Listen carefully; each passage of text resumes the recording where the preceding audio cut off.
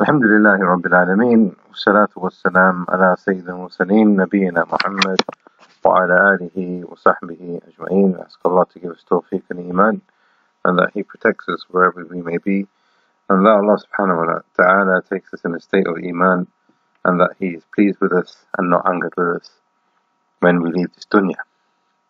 We are now on page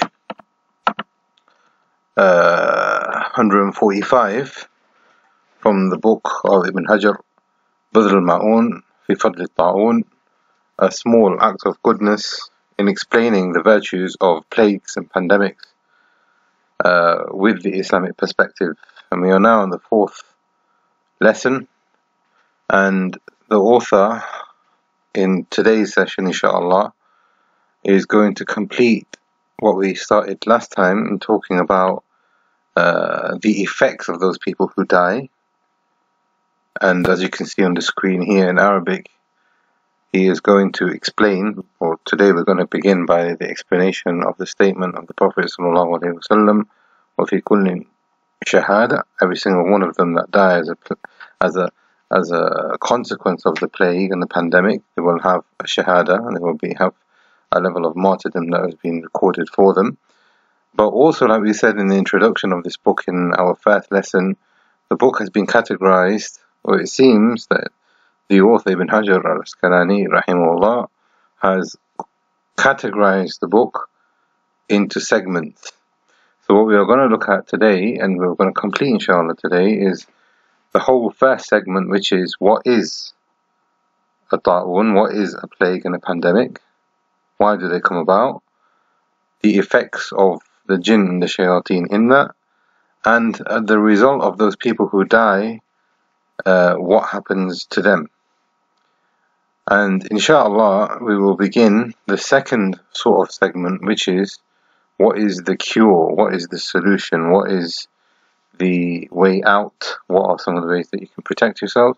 And inshallah, this is what we'll be looking at in this session today. So as you can see here, the statement of the Prophet shahada, uh, everyone who dies as a consequence of this pandemic, they will have a level of martyrdom written for them. Now, the question that the author is asking here is that is everyone that dies as a consequence of the pandemic be accepted as being a shaheed? Is everyone واقع لتردد في الفاسق ما يكون حكمه what if there was a person who is a fasik? What if there was a person who is a sinner and he died as a consequence of the plague? He's a Muslim, but he has some issues in his iman, etc. Will he then be considered as a shaheed? How can a fasik and a sinner be accepted as being a shaheed? So this is the question. وعن بالفاسق مرتكب al-kabir, a person who is connected to a major sin, and that's what he means by that. So the question is, is that will everybody be accepted as being a martyr? And he says in a general sense, yes. In a general sense, anybody who dies and he is a Muslim, he will die as being a martyr. However, however, we will clarify, if not in this session, but the next, how a person can uh, ascertain for himself that he has been accepted as being a shaheed. Because there will be some people that die and they will not be accepted as being shaheed. And this is the point that he is making. But in a general sense yes. But in order for a person to qualify to be in that general sense he needs to have certain characteristics. And they're going to be explained in further detail like I said further on in the book. But he will allude to them uh, on the next page. But here we're going to say, فَإِنَّهُ يُقَالُ It could be said that such people will, as in the fasiqs and the people who are connected to shirk and major sins and nifaq, etc., and they have a very poor connection to Allah and a very weak level of iman, that these people will not attain the daraja or the level of being a martyr. This is because Allah says in the Quran here in Surah Al-Ankabut, أم حسب الناس اشتروا السيئات أن نجعلهم كالذين آمنوا وعملوا الصالحات سواء محياهم ومماتهم ساء ما يحكمون This is not in Surah Al-Ankabut, but Allah subhanahu wa ta'ala is saying in this ayah here, do those people who are uh, accumulating for themselves sin, that they will be treated the same as those who believe and do good deeds? are they the same in their lives and in their deaths? How terrible do you make your judgment then? So the author is saying here that we have to understand that in order for a person to be accepted with Allah subhanahu wa ta'ala, to have that level of uh, virtue and Allah subhanahu wa ta'ala accepting him and Allah subhanahu wa ta'ala allowing him to get closer to him, there has to be certain characteristics. It is not that the fact that a person dies within a, a particular space or a time or location or generation, and because of the time that he died in, or the place that he died in, or the manner perhaps that he died in, that doesn't necessarily dictate his position with Allah subhanahu wa ta'ala. It is his iman and it is his actions and it is his intentions which would then qualify him as being as such. But like we're saying here, the author is saying, as you can probably see here at the top of your screen, الطاعون شهادة لكل مسلم a person, a Muslim who dies as a consequence of these plagues and pandemics, then this is a martyrdom for him. So he says, فِإِنَّهُ صَرِيحٌ فِي الْأُمُومِ This is general, this is clearly general statement from the Prophet ﷺ. However, وَلَا يُلْزَمْ من حصول الدرجات لمن اشترى السيئات أن يساوي المؤمن However, what we have to highlight that the the person who is engaged in major sins, a person, and Ibn al-Qayyim rahimahullah says sayyat uh, can refer to minor sins also. That a person basically in the sense of uh, he is weak in his iman, he will not qualify for those characteristics. May Allah protect us. And then he goes on to make this point further clear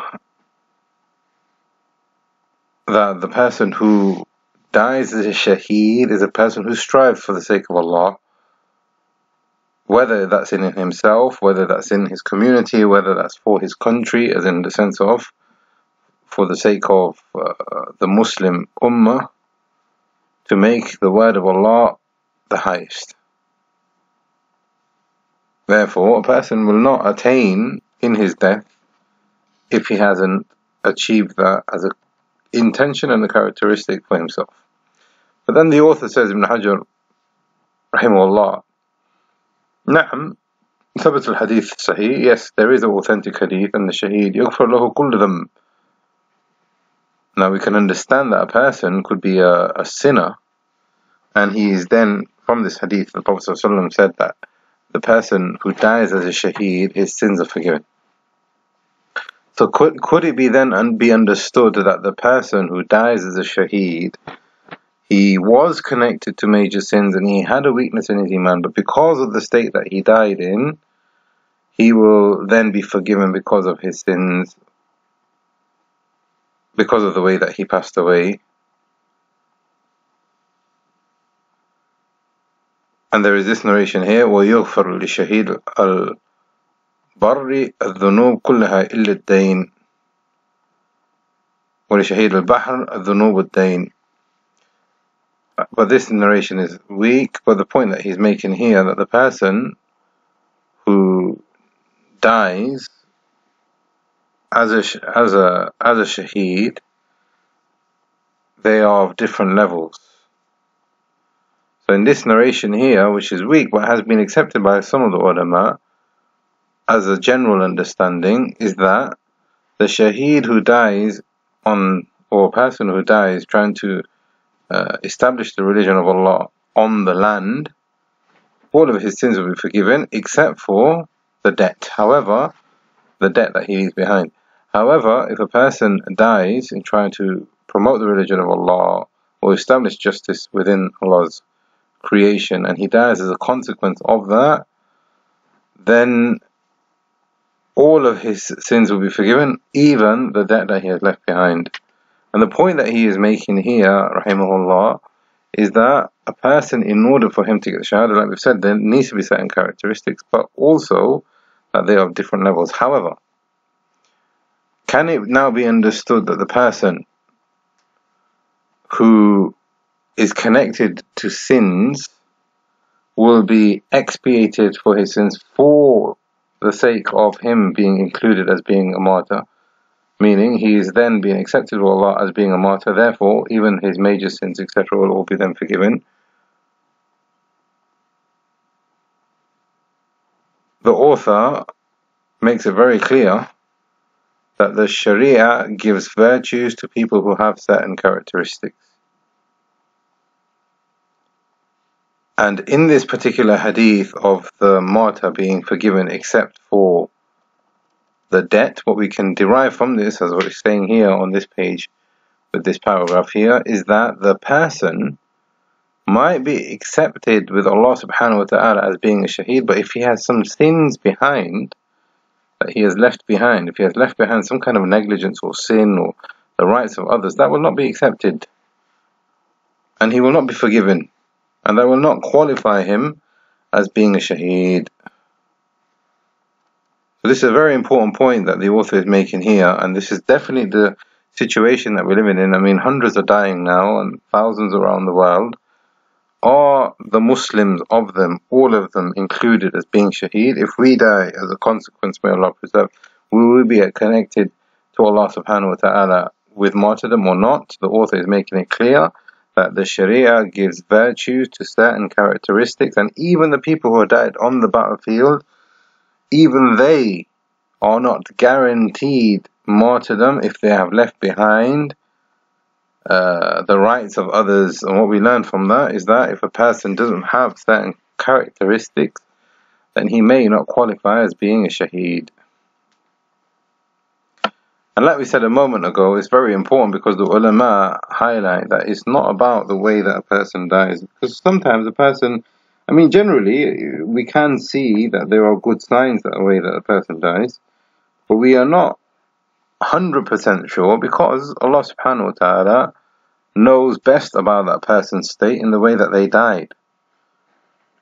So the ulama have mentioned the person might die and it may appear as if the person has died in a pious state, but it might not necessarily be with that the case with Allah subhanahu wa ta'ala.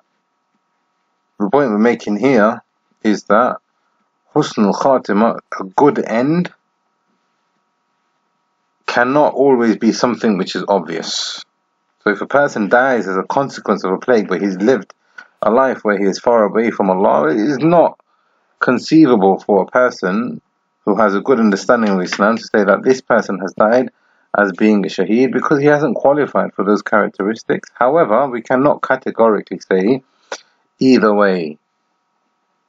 والحاصل أن الوجود تبعات لا يمنع حصول الشهادة and this is what the author is saying here in a general sense, it doesn't necessarily mean that a person who is weak, has got sins, etc., and he dies as a consequence of the pandemic, that he will not be accepted as being a shaheed. This is with Allah subhanahu wa ta'ala. However, the Shari', the legislator, Allah subhanahu wa ta'ala, قَدْ رَتَّبَ الثَّوَابَ عَلَى صِفَةٍ مُعَيَّنَةٍ Allah has given us plenty of proofs and evidences from the Kitab and the Sunnah that these rewards are for those who have certain characteristics. فإن حصلت للمؤمن عند موته that if a person who is a believer dies in a particular way with these characteristics, حصل له حصل له ذلك الثواب then he has attained for himself that reward. فضلا من الله وإحسانه ووفاء بوعد الله.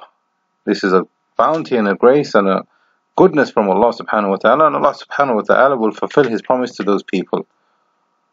Allah la yukhliful mi'ad. Allah will not ever contradict His promise. وليس للشهادة معنى إلا أن الله تعالى يثيب and the shahada and we're going to cover this later on what is the shahada he's got a particular chapter on that particular area in the book where he discusses what a shahada and what a shaheed actually is what is a martyr and what is martyrdom. However, what he is saying here, that the martyrdom that is granted to Allah subhanahu wa ta'ala is a reward. And it is a a bounty and a grace and a way of Allah subhanahu wa ta'ala honoring the person who is coming to him in death. Can that be given to anybody? The answer is quite clearly no. And then the author goes on to explain that a little bit further وقد بين الحديث أنه يكفر ذنوبه متعلقة بحقوق الله تعالى ويتجاوز عنه الإخلال بها Allah subhanahu wa ta'ala from that bounty that he grants to those people who die as a shaheed is that if he has a connection with Allah and he has some kind of weakness in his connection with Allah, Allah subhanahu wa ta'ala will expiate it for that person.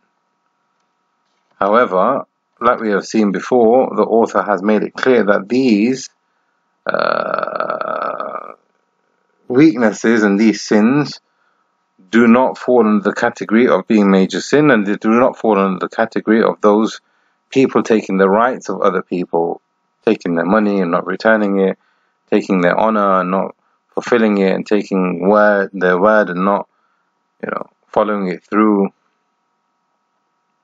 ولا يلزم من حصول الشهادة سقوط حقوق العباد فإن فإن عدم فإن عدم بقاء الشيء من تبعات السالم من الدين إنما هو من دروس الواقع لا من جزاء الشهادة the author is now saying here that the person who has died as a consequence of the pandemic, it doesn't necessarily mean that the rights of other people are foregone because of that.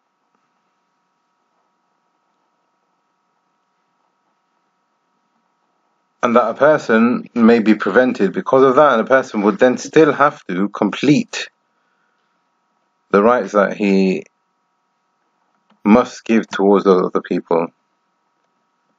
So what we learn from here is that just because a person has died in a particular way, or even if he has died as a shaheed, it doesn't necessarily mean that uh, all of his sins will be forgiven, perhaps, because Allah subhanahu wa ta'ala uh, has told us through His Prophet that if they have left behind the rights of other people, uh, they may not be forgiven. And what we are learning from this is that not every single person will then be granted as being a shaheed. And what we learn from this is that a person cannot be relaxed in his connection with Allah and the rights of Allah subhanahu wa ta'ala in his life. And by extension, the rights of other people as well. And what we also learn is that a person from this may be deceived by what is happening to him in his life. It could be that a person is affected with an illness or a test or a calamity. It could be that a person is being oppressed. It could be that a whole group of Muslims are being oppressed around the world. It could be that a person has been afflicted, afflicted by the illness and the pandemic, etc. And what we learn from what the author is saying here, rahimahullah, is that a person could be affected by this, but then at the same time, he's deceiving himself and how many of them are there? Where they see the state of the ummah and they see the state of themselves also, but they think that Allah subhanahu wa ta'ala is pleased with them. And they take it for granted. And they carry on with their life of sinning and their life of not fulfilling the wajibat of Allah subhanahu wa ta'ala and a life of negligence. And then they become happy and they rejoice that something has happened against the oppressor or the oppressed and they think that it is from Allah. However, it might not necessarily be a cause of Allah subhanahu wa ta'ala aiding them. It could be, as the author is quite clearly telling us within these pages here, is that there are a group of people who will be accepted with Allah without any reckoning and without any punishment. They will be martyrs with Allah subhanahu wa ta'ala. However, we need to have certain characteristics in our lives in order for the person to qualify as being a shaheed. And it is not everybody who says La ilaha illallah that will be accepted with Allah as being a shaheed. Then the author moves on to another very important question is that, as we have seen in the previous lecture, that it could be that pandemics and plagues are, are a result of the handiworks of the of the jinn and specifically the shayateen. The question now is how can this occur how can pandemics and plagues occur during the month of Ramadan?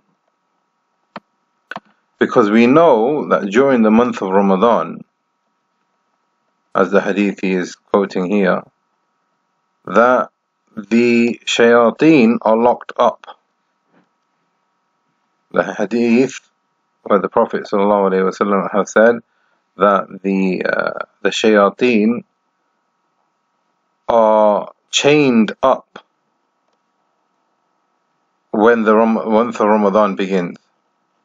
So how is it possible that if the pandemic and the plague has been caused by the shayateen, how is it possible that these plagues and pandemics continue during the month of Ramadan? Tajuddin al-Subki, one of the ulama of the Shafi'is, he said, rahimahullah, that what the hadith means wakhz min a'da'ikum min al-jinn that this is a gust and a, and a, and a piercing from the enemies from the jinn. It refers to something that occurs before Ramadan and the effects continue after Ramadan. So now the wakhz here refers to a piercing and a and a blow from the the, the shayateen and if someone hits another person, it could be that the effects and the injury remains for a long time. So Tajuddin Subki rahimahullah is saying that there is no contradiction because the affliction occurs before they have been chained up. Another possible explanation and understanding how this comes about is that he also said that the consequences and the punishment can occur in Ramadan. So the consequences of what has come about from these shayateen happened before Ramadan, but the punishment finally settles in in Ramadan. So now, for example, a person has been affected by something in Ramadan from the shayateen, but the consequence and the punishment comes about during Ramadan in the sense that uh, the actual punishment began before, and it's similar to what he said uh, earlier, but but it's slightly different in the sense that he's talking about the consequence and the effect of it. However, what he was saying before is that the punishment starts off before and it continues into Ramadan. However, the second possible explanation that he is giving here is that the consequence and the punishment occur before Ramadan and then they continue into Ramadan in the sense that it isn't something which befalls a person in Ramadan as a consequence of something that happened before Ramadan. Whereas the first explanation that he gave is that it's something started before Ramadan and it continues into Ramadan. Others from the ulama, such as وقد تكلم العلماء قديما على هذه المسألة, the author is saying here, others from the ulama, such as Al-Halimi and uh, Ibn Khuzaymah and Qurtubi, have mercy on them all, and this is now on the next page. And he says that we've mentioned this in Fath al-Bari also, have said that there is no contradiction because the shayateen being locked and chained up in, in Ramadan doesn't necessarily mean that all of the shayateen are locked up.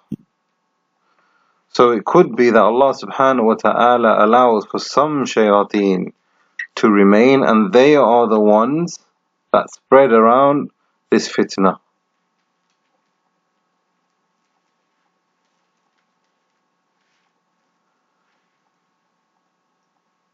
It is also said here in the middle of the page ويحتمل أن ويحتمل أن يكون المراد. And it could be that the meaning and the way that we can reconcile all of this أن الشياطين لا يخلصون فيه إلا إفساد المسلمين is that in Ramadan the effect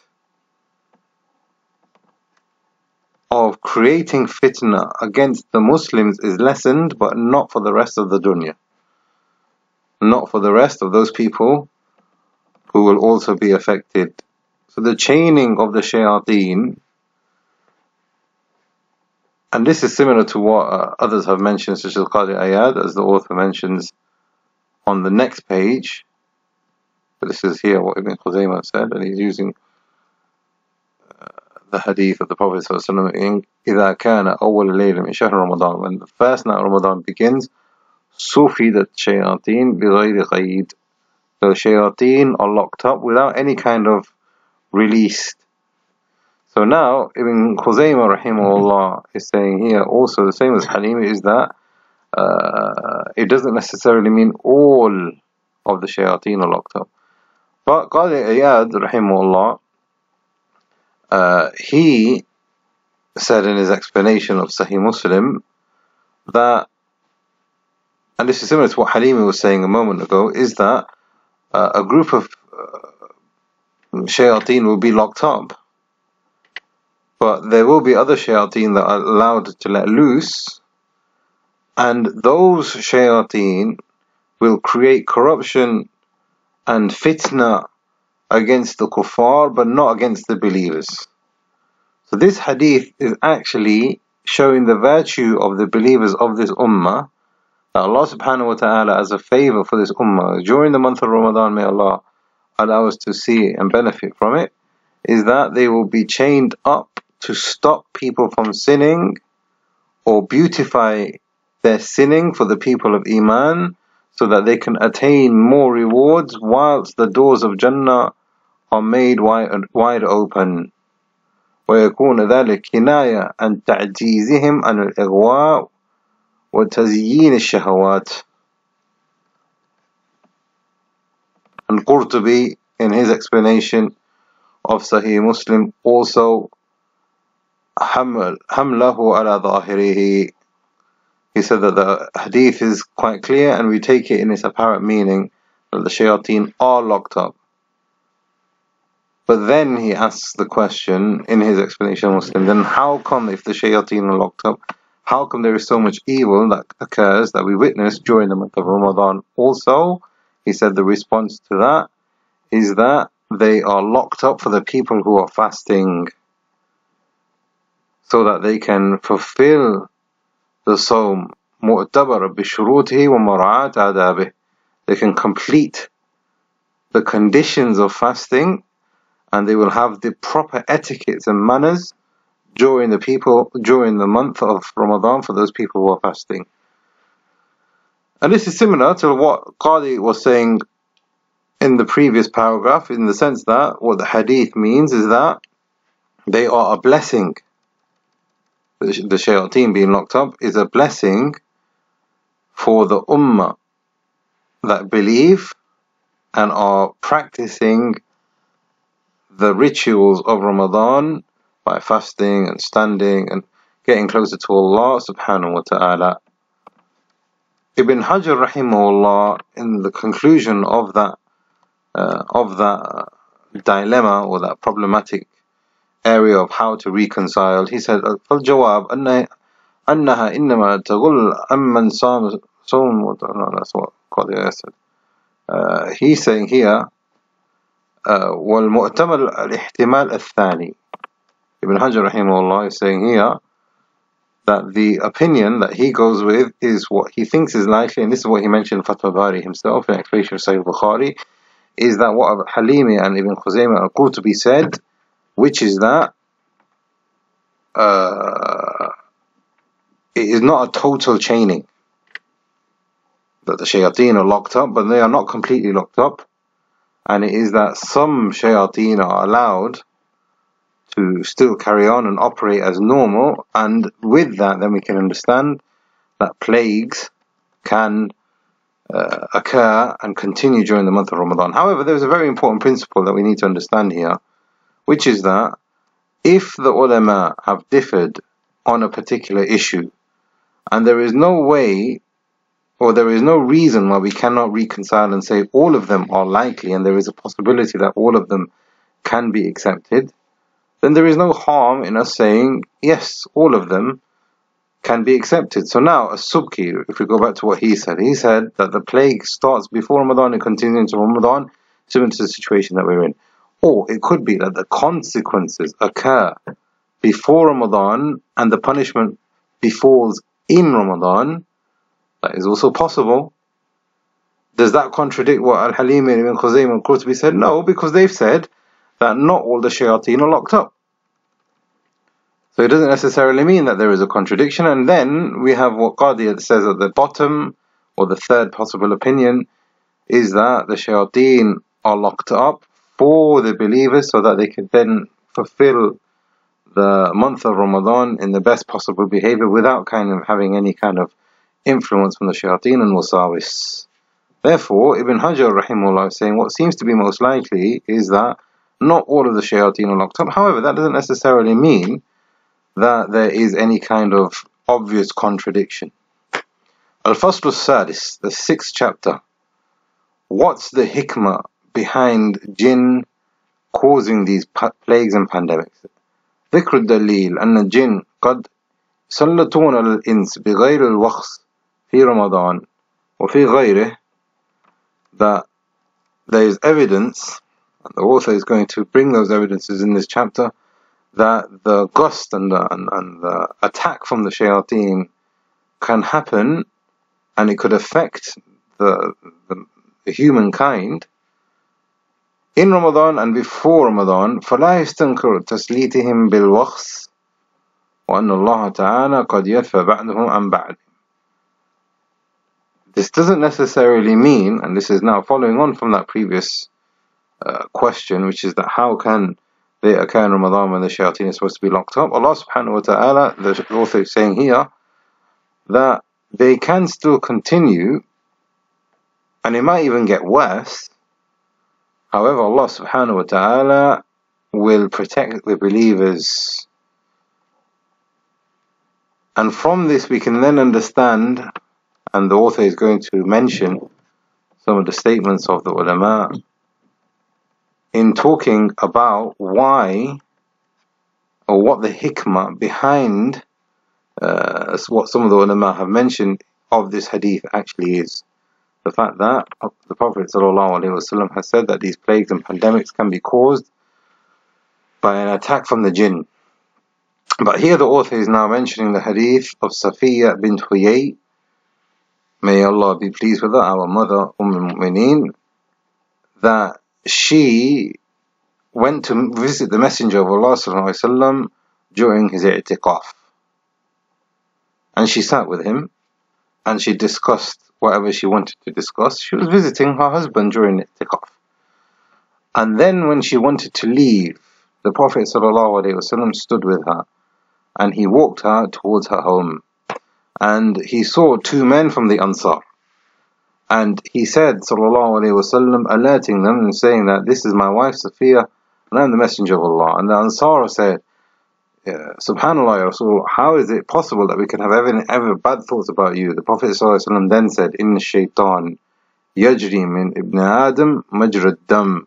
The shaitan flows inside the son of Adam, inside of man, like the flowing of blood. Now the author is mentioning this hadith to say that wasawis and bad thoughts and the influence of shaitan and jinn upon mankind are plenty and they can even continue into Ramadan. And remember the chapter or the title of this chapter here is that uh, what are some of the proofs that the shayateen and the jinn specifically can overcome mankind, even in Ramadan, even outside Ramadan. However, Allah subhanahu wa ta'ala will protect the believers.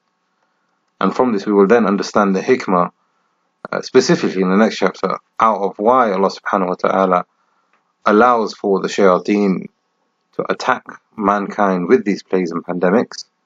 There is another hadith that the author brings here, إِنَّ لِلشَّيْطَانِ كُهْلًا وَلَعُوقًا That the shaitan has a kuhl, what you apply to your eye, the ismid.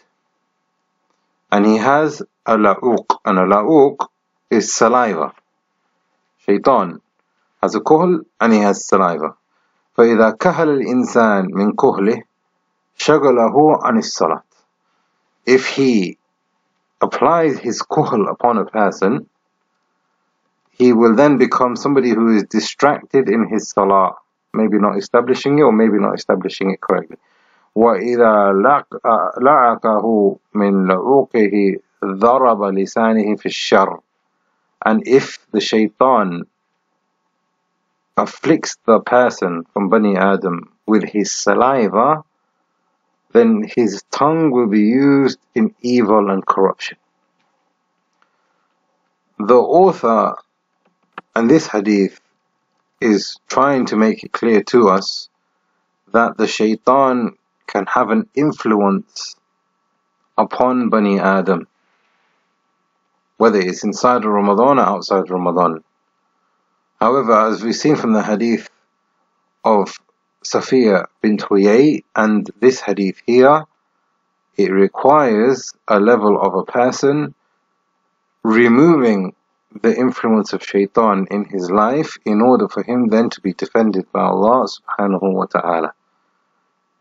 And even after he has taken all the necessary means to protect himself, and this is inshallah what we will look at perhaps now even in the next lecture, if anything befalls him beyond that, then it could be that Allah subhanahu wa ta'ala wants to have mercy upon him.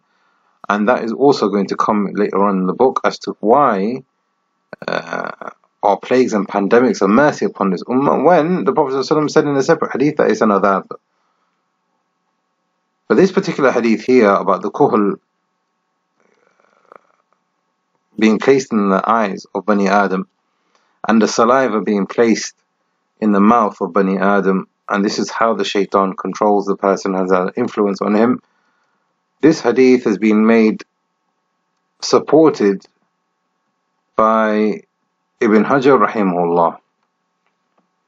However, others from the ulama have said that this hadith is weak, and some of them said that they're extremely weak. And what I could find for myself is that this hadith has two chains to it, and one of the chains has a person called Hakam ibn Abdul Malik al-Qurashi, and he's da'if, and the other chain has another person called Sa'id ibn Bashir, and he's da'if also, and Ibn uh, Sheikh al-Albani and al-Iraqi and others from the ulama have said that these, these, this narration and these chains do not support one another, so therefore the hadith is weak. However, Ibn Hajar rahimahullah, you can see here, uh, and this is what it says here.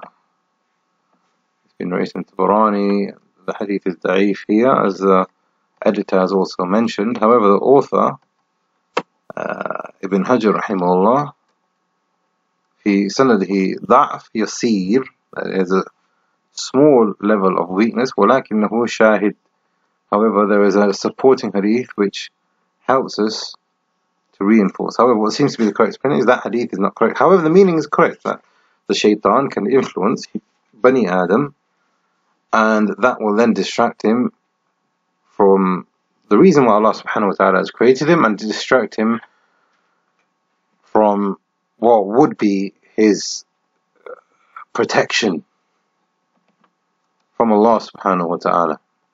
And when that protection is lost, then Allah subhanahu wa ta'ala allows for man to attack man and jinn to attack jinn. Allah subhanahu wa ta'ala has no concern for what happens to those people who forget him. And he leaves them to their own vices. And agna shuraka and shirk.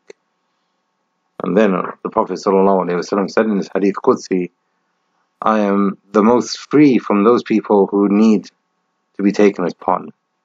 But if they take me as a partner taraktuhu wa shirku. I leave him and abandon him and I leave the thing that he worships beside me. So what we learn from this is that Allah subhanahu wa ta'ala will abandon man and abandon jinn and allow them to do what they want with one another if they are influenced by shaitan heavily to the extent that they will then forget their purpose.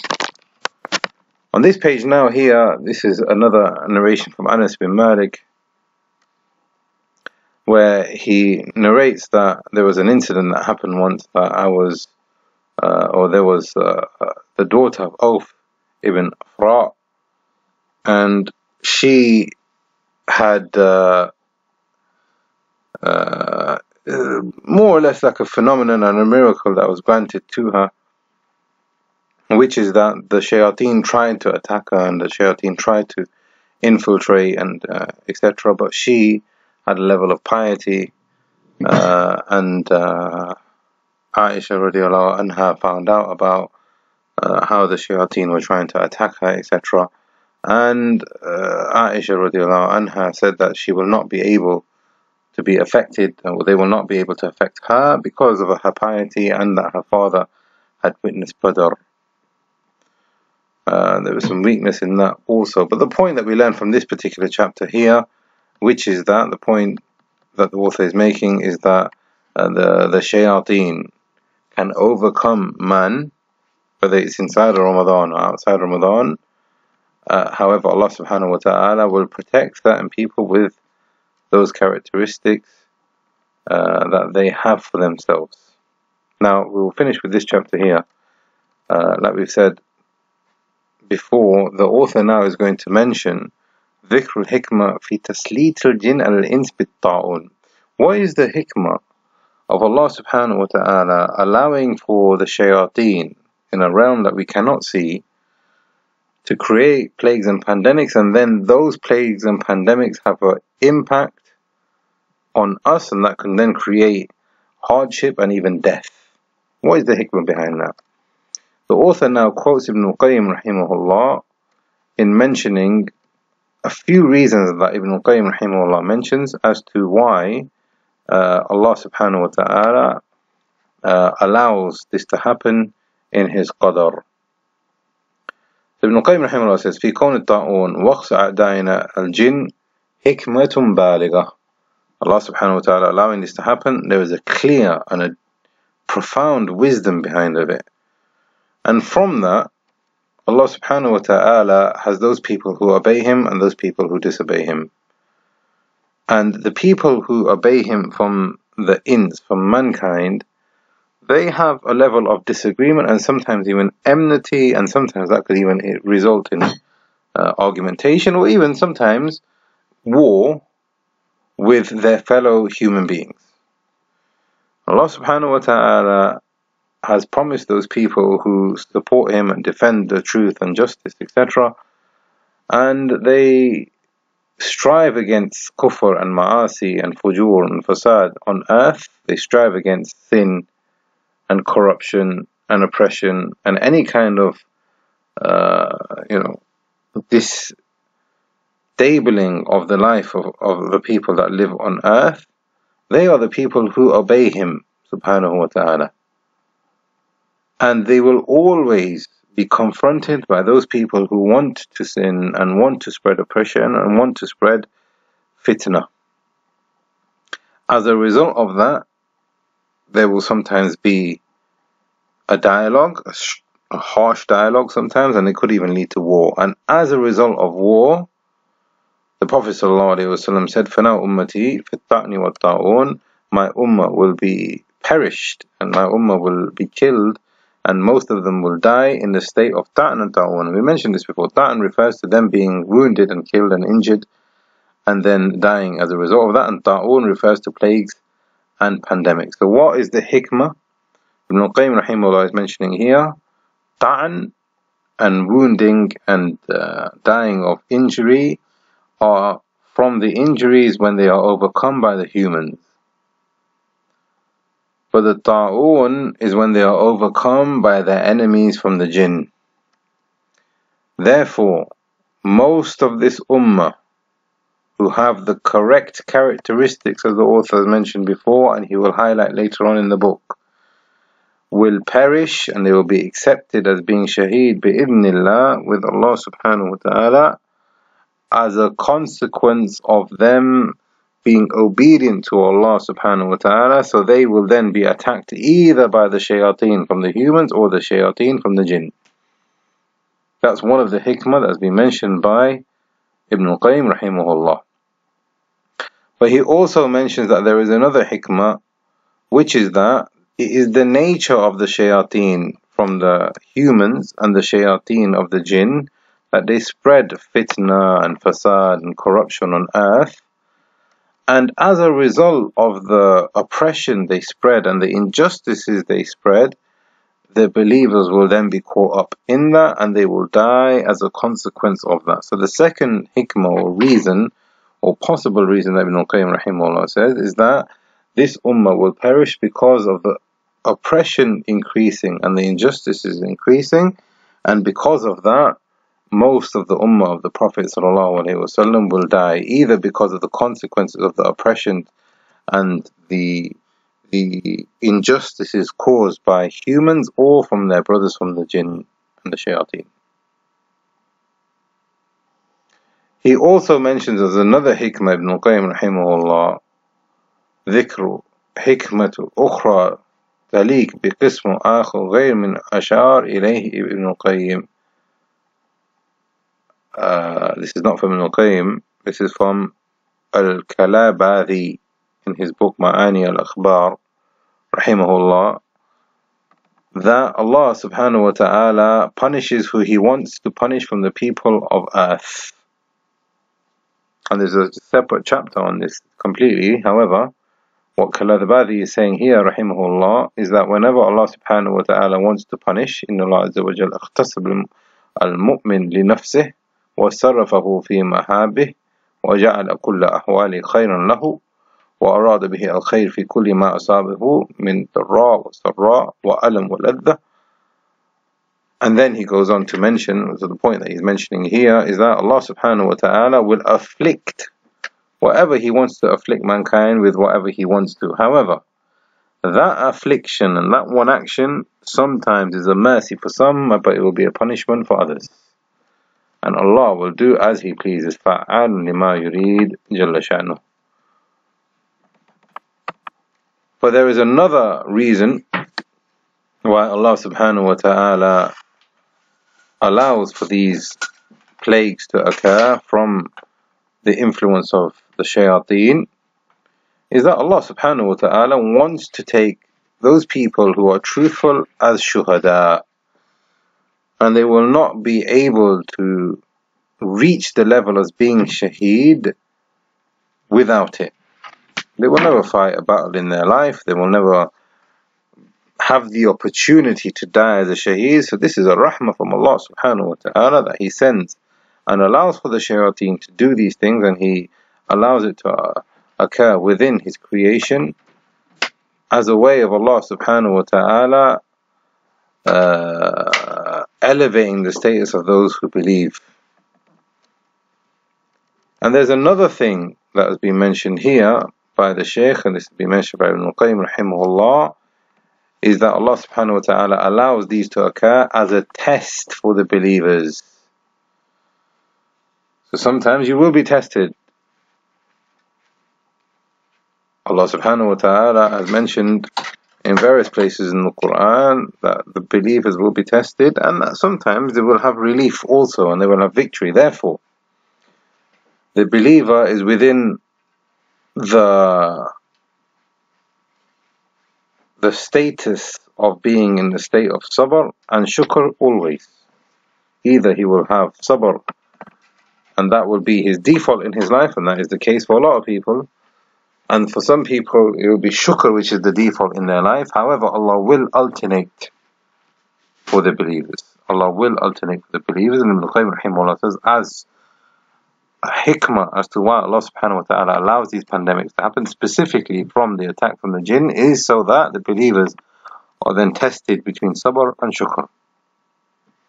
However, the author now says that there is another ishkal and there is another uh, point that we need to discuss and try and reconcile, which is that why would Allah allow oppressors to overcome those people who are truthful why would Allah subhanahu wa ta'ala bring about some of these things which are of virtue for the believers, that we've just mentioned here, that pandemic and plague, or a way that Allah subhanahu wa ta'ala takes some people as being shaheed, which way they wouldn't have attained otherwise.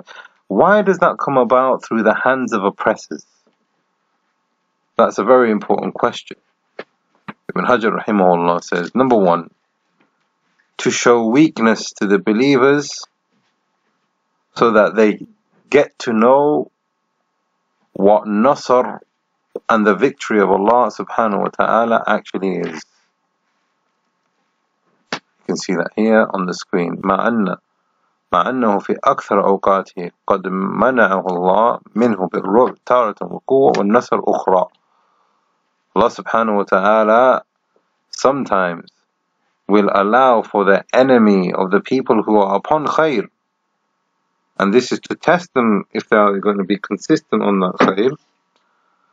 But also to put them in a state of weakness. And we've, we've seen that with the prophets and the best of mankind. Alayhim salam. Allah subhanahu wa ta'ala put them through weakness. Allah put them through tests. To the extent that the Prophet was almost killed by the oppressors. However, when the Nasr of Allah came and the power of Allah could be seen, it was then accepted and appreciated by the believers, and that increased them in their virtue and it increased them in their reward, and for some of them it increased them in their iman. And here the author is bringing some of the ayat which talk about that.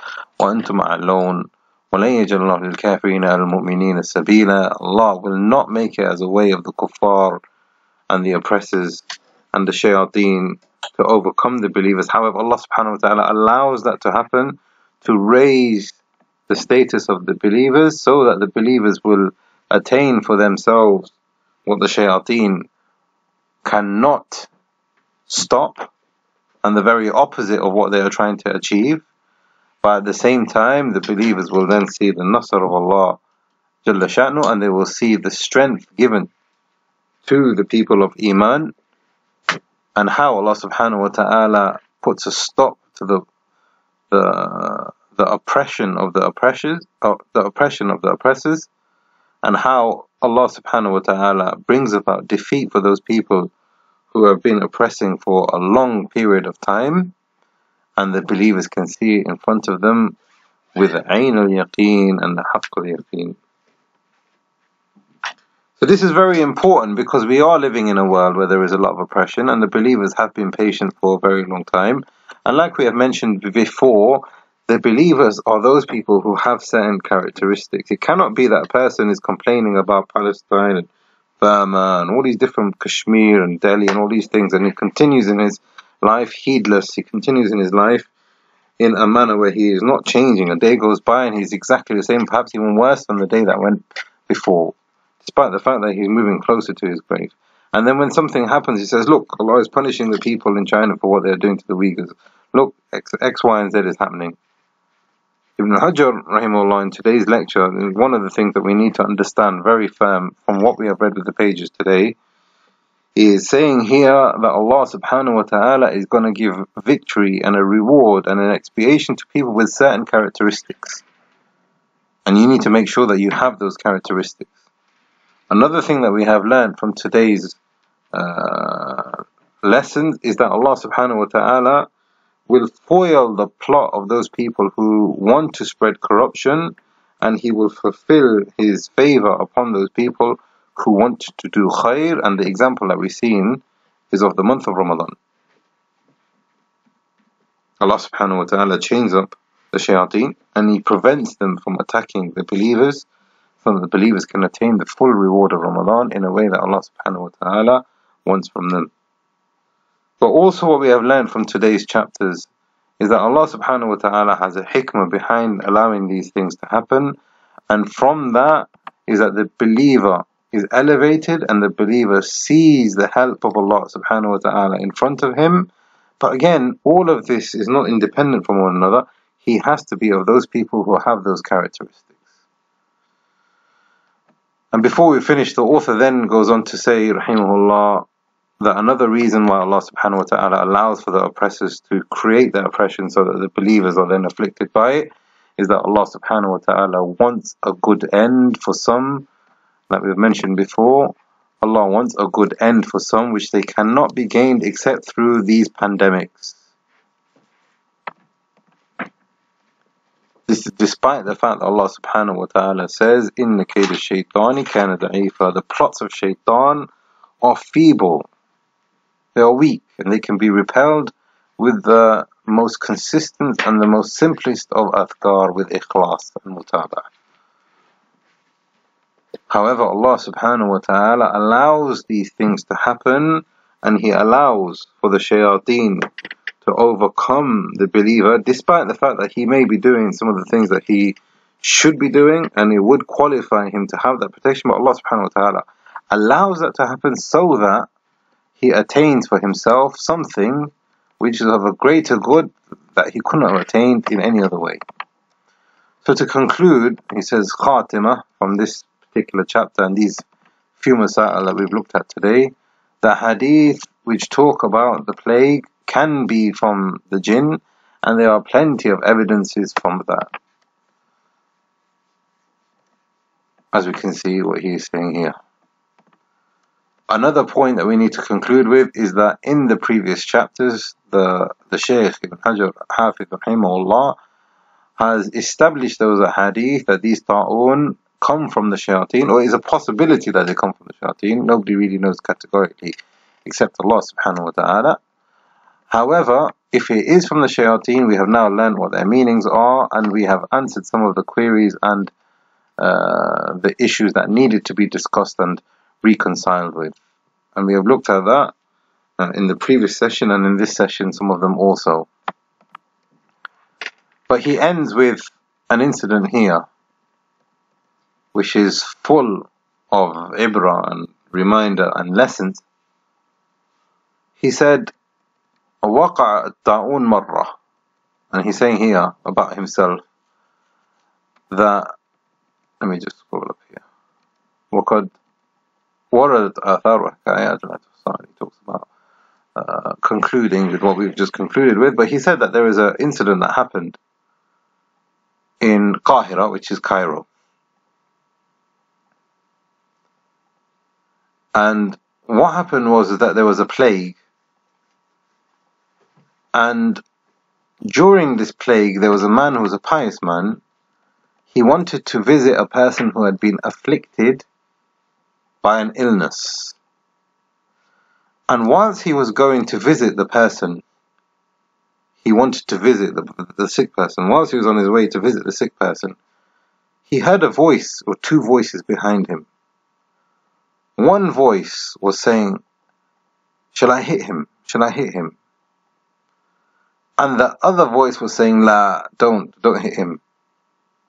Perhaps he's going to go and he's going to benefit people. Don't hit him. Then the other voice said back to the person who said, Don't hit him, Of course he will. He's going to benefit people. Meaning, if we let him go, then he will go ahead and benefit people.